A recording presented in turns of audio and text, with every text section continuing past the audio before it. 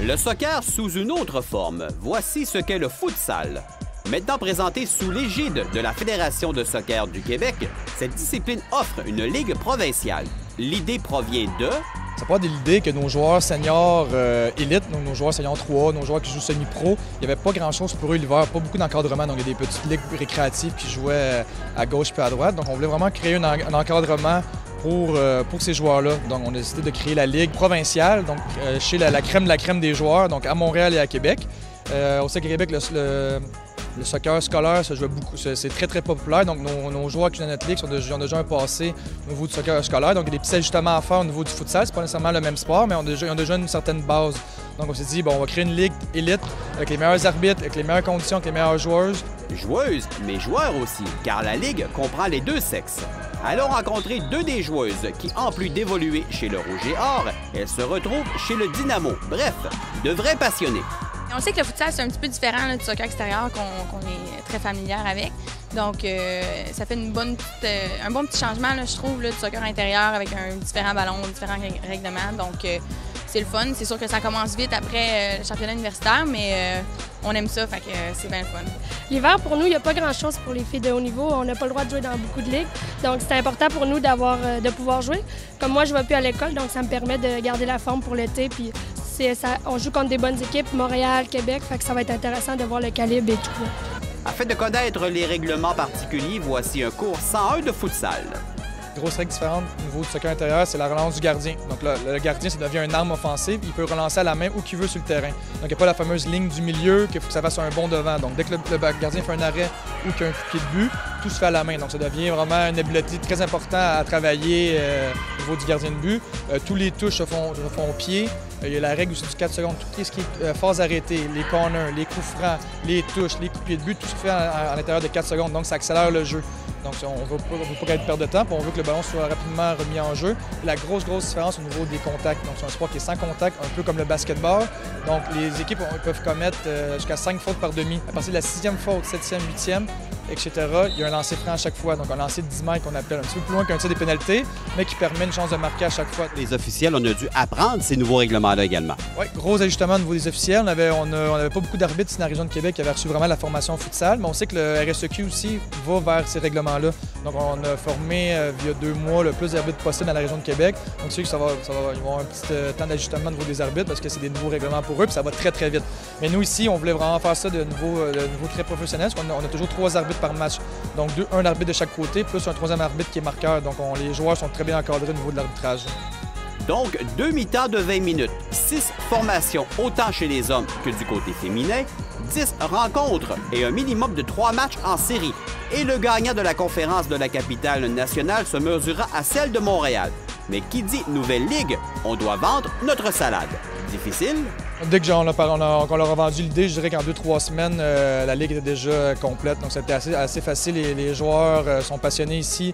Ils veulent faire du soccer 12 mois par année. Donc on a beaucoup de joueurs euh, qui jouent au niveau universitaire et scolaire. Donc c'est pour ça qu'on a retardé la ligue versus Montréal. Montréal commençait début novembre. Nous, je dirais que le trois quarts de nos joueurs jouent universitaire et collégial. Donc c'est pour ça qu'on a commencé un peu plus tard. Les défis pour les athlètes seront nombreux. C'est sûr que contrairement au soccer extérieur, les, les, fautes, c'est c'est calé super vite. Là. Donc euh, ça, ça va être euh, une bonne adaptation parce que c'est pas nécessairement des gros contacts. On va appeler une faute, on n'a pas le droit de jouer avec la gardienne. Moi qui est défenseur, j'ai souvent l'habitude de jouer avec mon gardien de but. Donc là, les, règlements sont différents par rapport à ça. Donc euh, peut-être là-dessus, puis il y a certains règlements là, qui sont différents, mais c'est ça les plus grands défis. Là, je pense pour tout le monde, ça va être peut-être deux, trois matchs d'adaptation, mais par après, ça va être correct. 4 contre 4, c'est rare qu'on joue ça. On joue au secondaire en gymnase, sinon on joue toujours sur des synthétiques. Donc ça va être, être intéressant de voir. On a une bonne équipe. ça va être, c'est ça, ça va être le cool de voir 4 contre 4. On n'a vraiment jamais joué comme ça ensemble. Euh, pour moi, ça va être de contrôler le petit ballon. Hein. C'est un petit ballon très lourd aussi, ça rebondit pas, donc c'est différent. Le ballon roule plus vite aussi que sur le synthétique, donc c'est ça, ça va être intéressant de voir euh, la vitesse et comment les autres équipes jouent. On ne sait pas, c'est nouveau pour tout le monde, je crois. Mais j'ai l'impression que le futsal risque d'être profitable pour toi pour l'année prochaine avec le Dynamo. Oui, c'est sûr. Le euh, futsal, c'est plus technique. Le ballon rebondit pas, fait que tu contrôles. Intérieur gymnase, ben c'est ça, ça, contrôle les, techniques. Donc, c'est toujours intéressant de pratiquer puis de s'améliorer. Puis en plus, notre équipe, c'est Dynamo qu'on a reconstruit, fait qu'on va jouer ensemble. C'est bon pour l'été prochain, c'est sûr et certain. Un nouveau dérivé du soccer qui offre un spectacle plus offensif. Bref, tout pour intéresser les amateurs.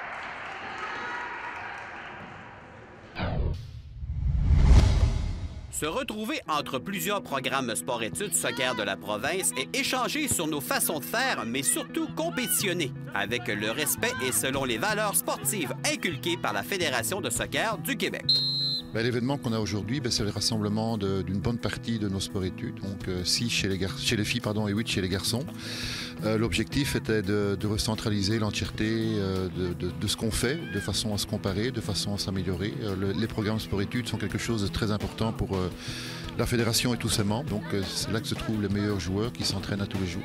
C'est situé et surtout échanger, et puis il ne faut pas oublier que le fil conducteur de tout, c'est la compétition. Alors pour la fédération, ça nous permet d'avoir une, évaluation permanente et des programmes et des joueurs, parce que mes adjoints pour les équipes du Québec sont là, l'impact de Montréal est là aussi, donc c'est encore une opportunité pour les jeunes de se faire voir. Région haute de ce beau rendez-vous, l'ARS de Québec apprécie. Oui, vraiment, c'est un événement auquel on avait pensé l'année dernière. Puis Elder a travaillé vraiment fort cette année pour euh, pouvoir le mettre en place. Puis oui, on est très content de pouvoir accueillir tout ce monde-là nos jeunes aiment ça en fait, faire des matchs. Et puis euh, nous, on avait ce problème de, que les jeunes ne jouaient pas pour nous. Et puis là, ben, on est en train de changer les choses, puis de créer des événements comme ça, ça va vraiment être euh, très bénéfique pour nous, pour notre programme, pour les jeunes aussi, pour leur formation. C'est bien d'échanger avec les autres ARS aussi? Oui, très bien. Ben là, j'espère moi pouvoir rencontrer un peu les autres coachs pour pouvoir discuter là. Mais ça permet aussi de calibrer notre programme par rapport aux autres programmes, voir un petit peu où en est notre travail, puis dans quelle direction on doit euh, améliorer notre programme aussi. Le soccer au Québec connaît une belle progression et le tout se répercute au chapitre des sports-études. Ben, on, est rendu, euh, on est rendu avec 15 programmes, donc on a juste euh, trois régions qui n'en ont malheureusement pas pour l'instant. Euh, ça représente 1450 enfants, donc c'est 5 entraînements par semaine pendant 10 mois, ce qui ressemble aux, normes internationales. maintenant, année après année, on essaye de mettre d'autres activités, d'autres incitatifs pour motiver les jeunes. Et de quelle manière on réussit à motiver les jeunes davantage? Bien, là, on voit de, grosses différences entre le, premier cycle, 1, 2, 3, où les enfants sont encore pleins de rêves euh, pour l'équipe nationale, les équipes du Québec, euh, l'Académie de l'Impact. Par la suite, ben, chacun se resitue un peu dans, sa filière euh, qui lui est prédestinée. Mais il n'en reste pas moins que bon, maintenant on a des programmes de semi-pro, donc universitaires, qui permettent quand même de tenir une motivation importante pour les 4e et 5e secondaires. Et dans la région, ça se passe de quelle manière? Là, on est en train de changer les choses. Donc, on a beaucoup de jeunes qui, en fait, demandent à rentrer dans le programme. Ce qui fait que nous, on a mis en place deux programmes parallèles où on essaye de répondre, en fait, aux attentes de chacun. L'élite, moins l'élite. Euh, donc, euh, ça nous permet de vraiment former tous nos jeunes de la région, quel que soit le niveau dans lequel ils jouent. Parce qu'il y a beaucoup de demandes, donc il faut offrir des services aussi. C'est ça. En fait, là, jusqu'à l'année dernière, on avait un seul service pour tout le monde. Puis en fait, on s'est rendu compte que euh, nos jeunes n'avaient pas forcément les mêmes ambitions, les mêmes attentes envers le programme.